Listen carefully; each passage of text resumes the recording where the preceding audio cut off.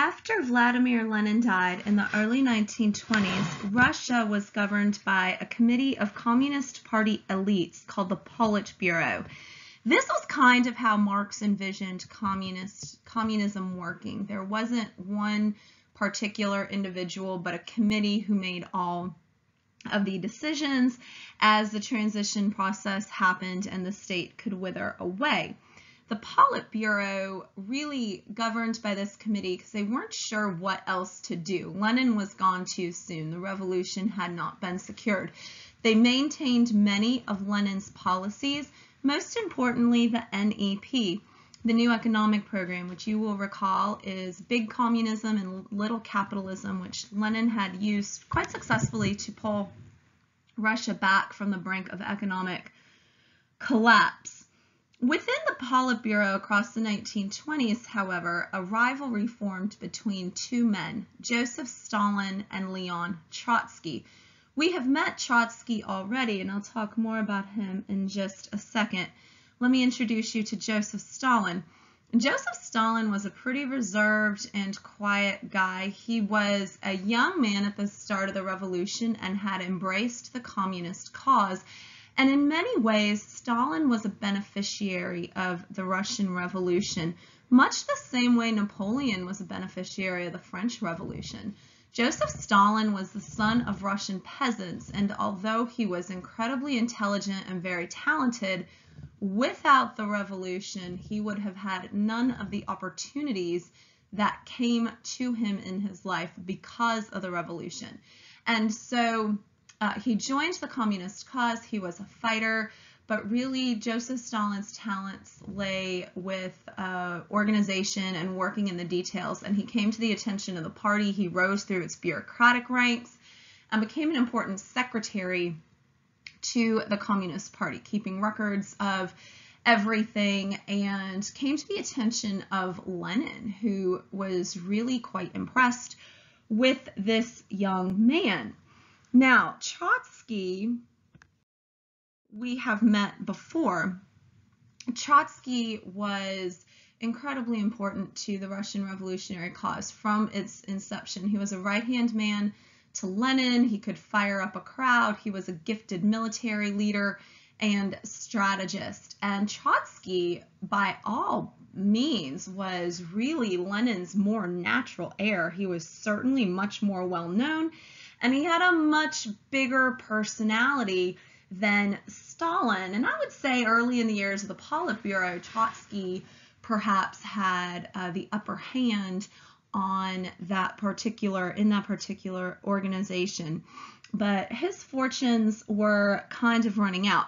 Now, Stalin and Trotsky agreed on a few things, and most importantly, they agreed that Russia had to get off of the NEP, that the new economic program, and especially its little capitalism, endangered the larger Marxist revolution.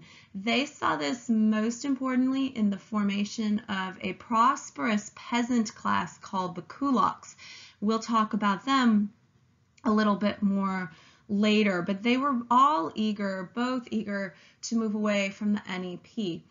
Trotsky and Stalin's primary difference revolved around whether or not to spread the revolution. You will recall when we studied Marxism that Karl Marx envisioned an international movement. He was really discouraged by nationalism.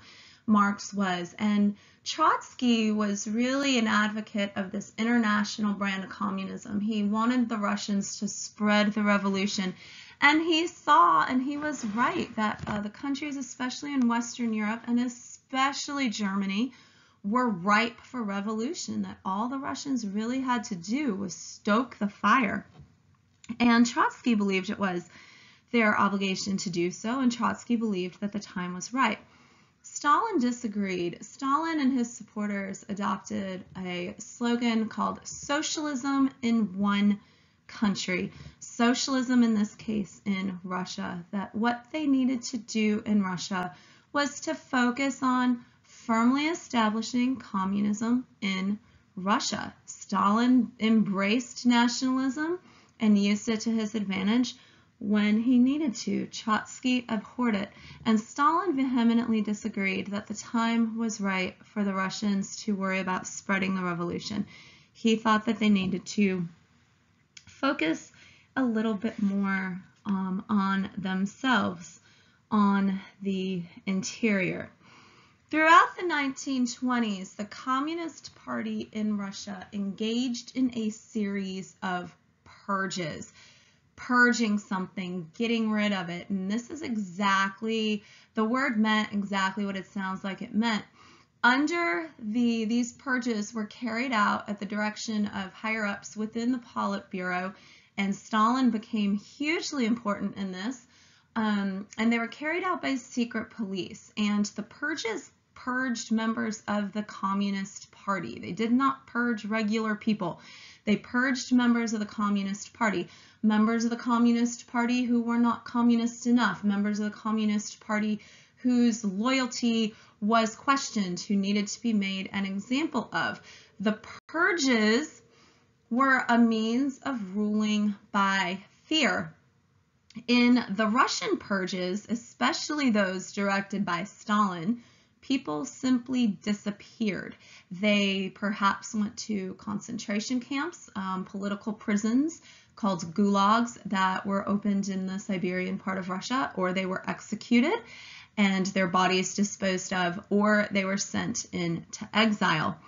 Um, as the 1920s went on and uh, excuse me, Stalin gained the upper hand on the Politburo, Trotsky became a victim of one of these purges, and Trotsky was exiled to Mexico. He had lost his power base in Russia. Stalin exiled Trotsky for the same reason Lenin spent such a long time moving the royal family around during the revolution. He didn't want to risk them becoming martyrs or a rallying point or a focal point for any who would oppose him. So Stalin had Trotsky exiled and he went to Mexico where he was murdered in 1940, almost certainly under Stalin's orders. Something I want to call your attention to right here before we move on is how important secret police and this idea of the purge is in these kinds of revolutions, okay, in these kinds of revolutions. Go back to the committees of public safety and the reign of terror, where most of the victims were members of uh, the revolutionary class, okay, those who had who had supported the revolution. Um, in Hitler's Germany and in Mussolini's Italy, the use of secret police and fear and the purging of members of the fascist party was a very important component of their demonstrating and solidifying their control. Ruled by fear, you better not even be questionable. Okay, Mussolini had a group of thugs he called his black shirts that he used in a very public way to beat people up or to kill people and to make an example out of them. Hitler had a, a group of secret police called the SA. They were known in the common lingo as the stormtroopers. You know, George Lucas and Star Wars, I guess, isn't all that original. But the stormtroopers carried out purges uh, according to Hitler's wishes, members of the Nazi Party. The most significant one occurred in the uh, early 1930s. It's called the Night of the Long Knives, a great night of violence, where Hitler's purging his quote unquote enemies. But these enemies are almost always members of the own party. You're making an example of them. So even though communism and fascism were philosophically opposed and ideological opposites and inherent enemies for those philosophical and ideological reasons, they relied very heavily, both did, on the use of secret police and fear to maintain uh, to maintain order. Joseph Stalin wasn't Trotsky and he wasn't Hitler and he wasn't Mussolini. He wasn't a great charismatic speaker who could command the attention of large audiences and just talk for hours and rile up a crowd. He wasn't a man of eloquence. He wasn't a speaker. He wasn't a great writer. And um, so he really relied on propaganda to promote a powerful and really quite benevolent image of himself. Historians call this Stalin's cult of personality. And Stalin invested heavily in a kind of art called socialist realism. Now, socialist realism is kind of a funny oxymoron because socialist realism is propaganda. There is nothing realist about it, nothing at all. Um, but you see here in this painting, here's a benevolent Stalin applauding his people who are cheering for him. Look at how happy the people look. Look at the flags flying. This is strongly nationalistic. And Stalin used images like this all over the place and all the time. And not only visual art. Socialist realism could be um, music or it could be theater. It could be all different kinds.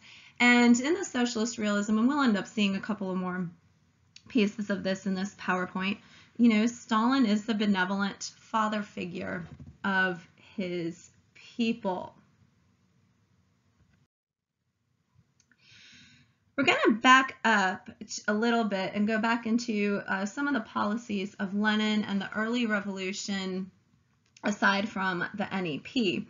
Lenin really pursued a very aggressive and immediate transition to uh, communism in after he had seized power, the Bolsheviks had had seized power.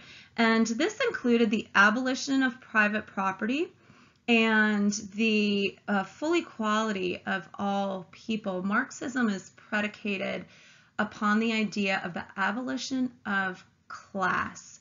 And this is incredibly important. And so along with the abolition of class, there had to be the abolition of other kinds of divisive lines present in society, whether those divisive lines were ethnic or racial or gender-based.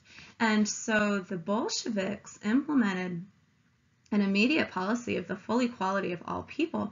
Very important. Russia um, does have, and the Slavic countries have people of, of different ethnicities and races, uh, and this included the equality, the full equality of women, the full equality of women to work, and the full equality of women in terms of marriage and divorce, and the right of women to use birth control and to obtain abortions. In the 1920s, artificial means of of birth control were being uh, advocated for the first time, and their use in many of the Western democracies was discouraged or made illegal for married couples. Um, and abortions were certainly illegal, even though as a medical procedure uh, were were practiced. They're, they existed, as I say, as a medical procedure. And so one of the immediate rights Russian women gained was, was this right to birth control and this right to abortion. This is part of their their full uh, their full rights of equality. Now, Lenin and the communist um, policies of equality worked much better in practice than they ever did in reality because behind closed doors, people didn't necessarily treat each other equally or even in public necessarily need to be behind closed doors. But people, even if the law was equality, people didn't treat each other equally. And, and so in people's social interactions, those more uh, old school, common, traditional boundaries remained. But here was an effect of Lenin's legalization of birth control and abortion was that across the 1920s, the birth rate and marriage rate rates in Russia plummeted. They fell precipitously. Now, this wasn't necessarily a result of women being like, woohoo, I don't need to get married now and I don't need to have babies now. This was a result of just the trying nature of the times, especially the trying nature of the times from an economic standpoint. Um, and trying economic times always drive down marriage rates and birth rates. But by the 1930s, by the early 1930s, this had become an impending emergency for Russia. Their birth rate had fallen so dramatically that Stalin was compelled to take really, really um, grand steps, if you will, to reverse this. And coming short of forcing women to have children, uh, this is essentially essentially what he did. They adopted policies to encourage marriage, which were somewhat successful. Um, he did mitigate the full equality of women when it came to the workplace, even though women were afforded greater work opportunities than they were in Western countries. Um, uh, but he made the use of birth control and the practice of abortion heavily illegal in Russia. I would say, uh, you know, if you've got degrees of illegality, it was more dangerous to perform an abortion in Stalin's Russia than it was to perform one in New York City or in London, where they were also illegal. But a doctor who is known to perform abortions faced very, very serious criminal penalties, perhaps up to death. Was this out of Stalin's moral goodness? No, it was not. It was out of an impending emergency in their population if Russians did not increase their birth rate. Now think about what Mussolini and Hitler did too. They really strongly promoted uh, traditional family roles and they really strongly promoted high birth rates among their citizenship among their citizens um, actively encouraged it and they were very very successful at uh, kind of making it a matter of social pride to have a lot of babies. This did not work out so well in Russia. You know, things were pretty difficult. They were pretty miserable. And so while Stalin's policies mitigated the falling birth rate to an extent, um, his attempts to up the birth rate were not nearly as successful as those in Italy and in Germany. Stalin's domestic policies centered around a group of plans called the five-year plans. And there were three five-year plans, and obviously they were to be pursued in order. But the five-year plans called for the rapid industrialization of Russia and the formation of collectivized agriculture. So we've kind of been talking about this with Russia for a long time now. Um, Stalin implemented his first five-year plan in 1930, 1931, somewhere right around there. And the first thing that this did, it was it reversed the NEP. It took away the new economic program and it fully abolished all rights to private property or private business. It aggressively pursued rapid industrialization. Industrial cities sprung up in Russia out of nowhere overnight. And if you look at the five-year plan, simply in terms of industrial output, they were remarkably successful from the first one to the last one. They were remarkably successful because the Russians did indeed finally significantly increase their industrial output. Stalin made Russia an industrial power. So that's only if you're looking at the numbers though. This came at a very, very, very high cost. Uh, workers were paid very low wages if they were paid at all, because we have to remember this is communism. Um, working conditions were dangerous, lives were expendable, and uh, they were difficult. Conditions were incredibly difficult. There were constant housing shortages. Sometimes more than one family had to live in a small apartment that was owned by the government, by the Communist Party. And so, in a word, while industrial output increased significantly, you had a pretty unhappy and miserable population. There was a lot of alcoholism, there was a low birth rate. We've talked about, about some of those things. Um, also, the types of things that were produced were heavy machinery for industry and for agriculture, uh, airplanes and tanks, railroad cars, not consumer goods not things to make a person comfortable, not clothing, not pillows, etc. items for the home. And so things were still pretty miserable, even though if you look at it from an output, uh, output stance, the five-year plans were quite, were quite successful. Collectivization, not so much. Collectivization proved incredibly difficult and was not something that was successful in Russia for the first, throughout the 1930s, I guess I would say.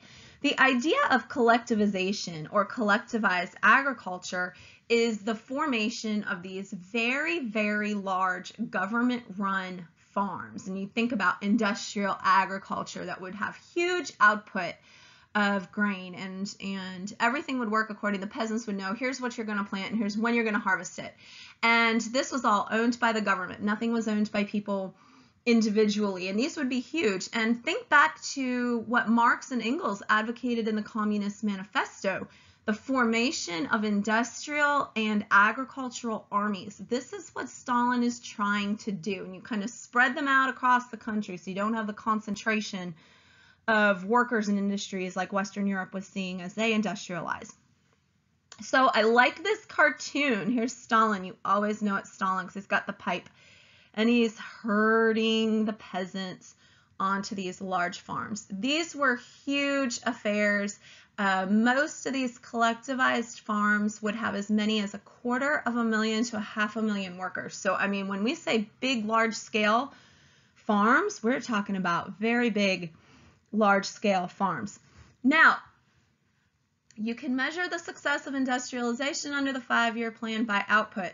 You can measure the failure of collectivization by the lack of output.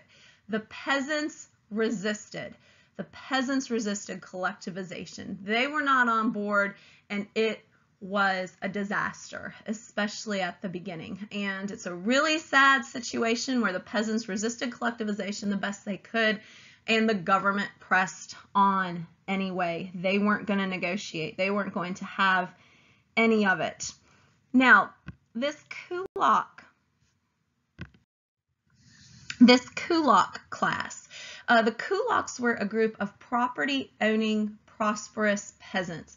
And the kulaks had emerged as beneficiaries of Lenin's NEP.